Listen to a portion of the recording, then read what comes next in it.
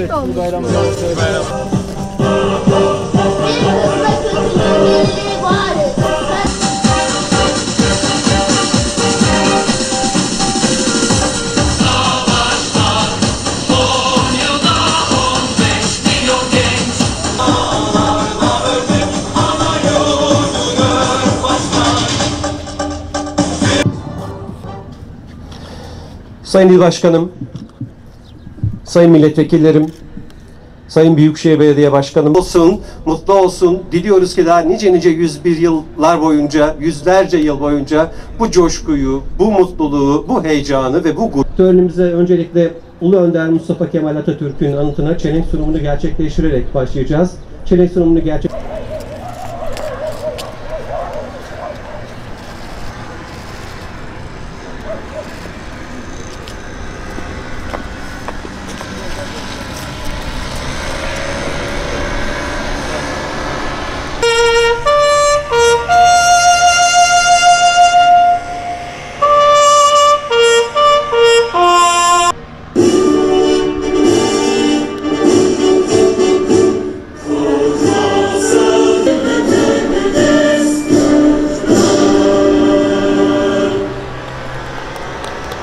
Teşekkür ediyoruz. Evet değerli yoldaşlarım, değerli Cumhuriyet Halk Partililer, ben de hepinizi sevgiyle, saygıyla selamlıyorum.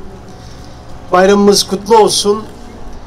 Kuruluşun ve kurtuluşun şehri İzmir, hepimizin bu nedenle gurur duyduğu bir kenttir ve hepimiz ilelebet bu gururla yaşayacağız.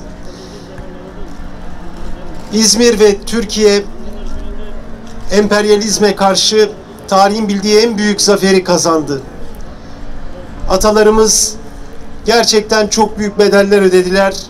Çok kan döktüler, çok can canları yandı ve bugün üzerinde huzurla barış içinde yaşadığımız bu cennet vatanı bize bıraktılar.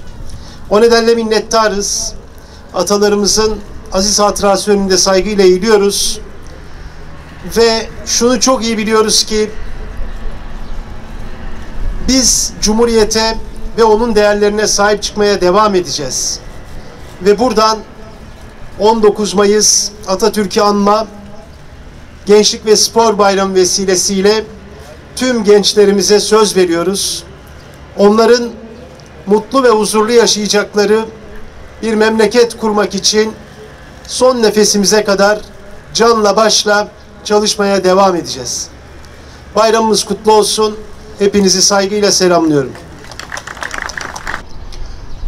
türlü fedakarlıklarla, tüm yokluklara rağmen, tüm imkansızlıklara rağmen bu topraklar kanla ve ateşle yoğruldu ve milli mücadele kazanılarak tam bağımsız Türkiye Cumhuriyeti kuruldu.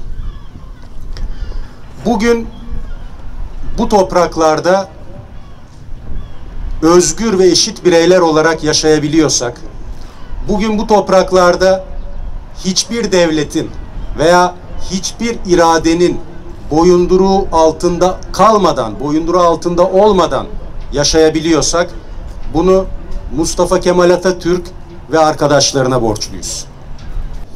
dünyanın varoluşundan beri özgürlük timsali mücadelelerin en güzel örneği olan bu topraklarda Şeyh Bedrettinlerden başlayan mücadele Mustafa Kemallerle devam etti.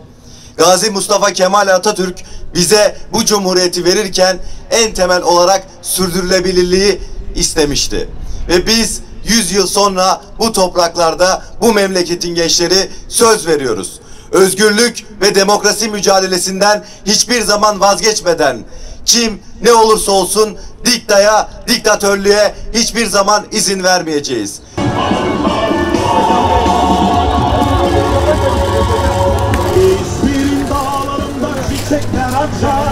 Huzur içinde uyu atam. Biliyor inancımızı bir kez daha haykırmak için Cumhuriyet Meydanı'ndaydık. Tüm İzmir'in